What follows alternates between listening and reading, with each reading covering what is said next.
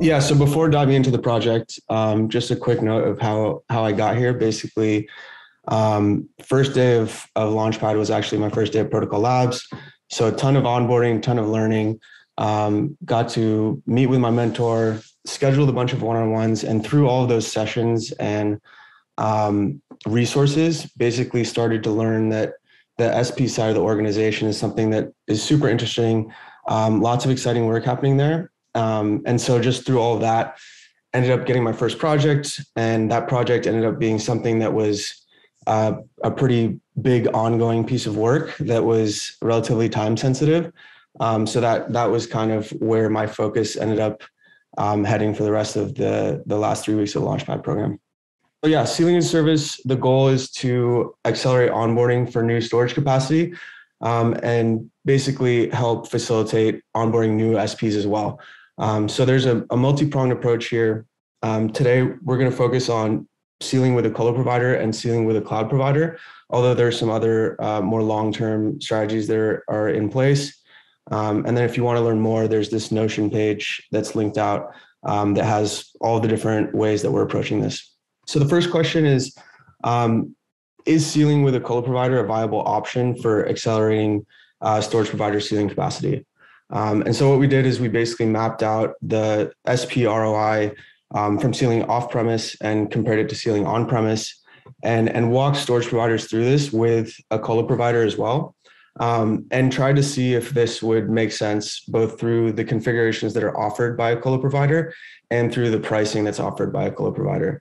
Um, and so what we learned was basically that the configurations that are offered through colo providers could work for sealing um, as a service and that the pricing actually did match up.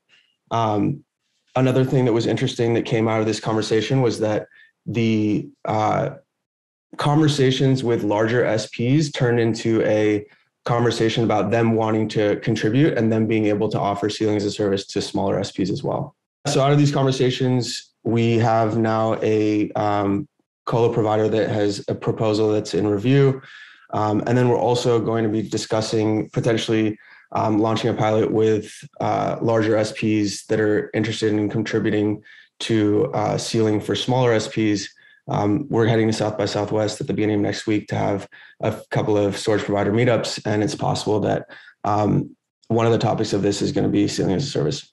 So on the other side of things, um, cloud provider sealing.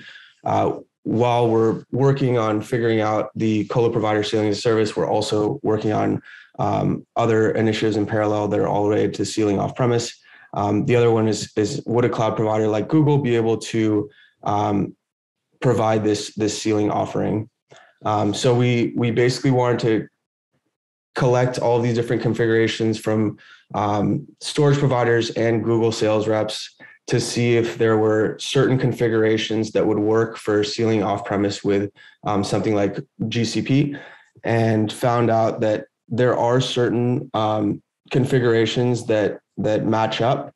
Um, and then we basically wanted to look at colo provider versus uh, storage versus on-premise storage provider versus off-premise um, cloud provider, and look match up the SPROIs against um, all those different ways of sealing, and try to figure out is this a, a viable option as well.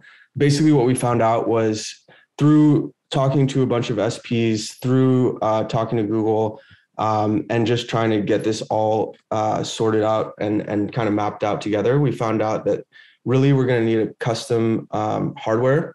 Uh, the CPU that they offer essentially provides too many cores. Um, and for the amount of memory that they provide, we don't need all those cores, and more cores means more expensive. Um, and then the other piece is the GPUs. Uh, the Google G- GPUs are basically all these Tesla GPUs that are brand new. Um, they're not really cost effective, and the storage providers that are providing sealing service can actually use older, uh, more basic new GPUs. Um, and so the newer Tesla GPUs aren't necessarily going to be um, needed or cost effective. Uh, so we need to talk to them about that. We also want, have uh, some questions around egress costs. How much is it going to cost to actually move this data that's being sealed with Google off premise? um, is a big question. And then overall, um, there just needs to be uh, some conversations around um, maybe bulk discount pricing so as far as demand goes, um, we've been getting qualitative data through um, conversations with SPs, and then quantitative data through um, reaching out to people through Twitter, through Slack, um, through our newsletter, and getting information about, um, you know, what would they like to see, what would SPs like to see um, in terms of uh, desired sealing capacity, desired time to seal, um, target sealing rate, and any other metrics that could be useful for getting this uh, potentially off the ground. So, as a summary, uh, basically, the conversations with the colo provider and SPs uh, have given us this painted this picture that the configuration and pricing is actually within um, reason and, and possible uh, to do in terms of sealing with a colo provider. Um, there is a potential of running this new pilot that we didn't even uh, necessarily consider with large SPs providing uh, for smaller SPs. Um, we're prepared to meet with Google and let them know that we're going to need custom hardware requirements um, and and talk about pricing if there's a match there. And then we do want to continue to gather additional demand data um, and discuss technical requirements because um, I think Lotus requirements are going to be a big one as well.